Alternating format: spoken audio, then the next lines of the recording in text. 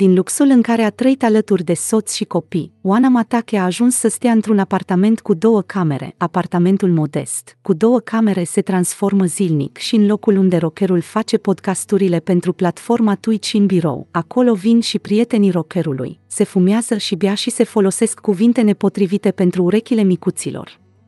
Acesta este unul dintre motivele care au făcut-o pe Gina Matache să afirme că nu e un loc potrivit în care să crească doi copii. Pentru acest apartament, potrivit informațiilor oferite de Cancan, Radu ar plăti suma de 500 de euro, după ce mama Oanei a distribuit un video în care Radu îi înjură nepoții.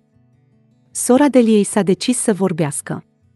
I așa acuzat mama că se bagă în viața ei și a mărturisit că toți cei care i-au cunoscut iubitul și-au făcut o părere bună despre el, am fost blamată public pentru acțiunile pe care le-am efectuat în ultima vreme și mi se pare ireal cum poate să creadă cineva că sunt în stare să-mi pun copiii în pericol.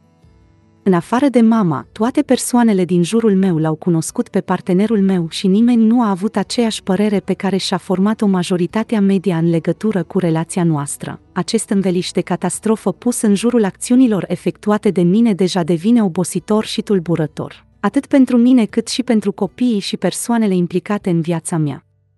Cred că nimeni nu are dreptul să judece o femeie atât de aspru, să o blameze pentru alegerile făcute în viață și să o jignească în nenumărate rânduri, în așa hal cum au făcut-o anumite persoane. Îmi doresc foarte mult finalul acestui scandal. Nu cred că privește pe nimeni felul în care aleg să-mi trăiesc viața și să-mi educ copiii. Eu și fostul meu soț am rămas în relații bune, comunicăm, are acces la copii și control asupra situației.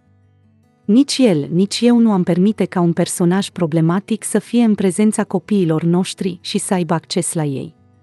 Ce nu mi se pare corect felul în care mama mi-a procedat și nu consider că s-ar fi ajuns la această stare de hate general dacă nu ar fi învelit personajul partenerului meu într-o imagine problematică fără a avea nicio dovadă sau fără a-l cunoaște personal. A fost mesajul Oanei. Vă mulțumesc că ați privit până la final și vă rog să vă abonați la canal pentru a vedea mai multe știri de acest gen.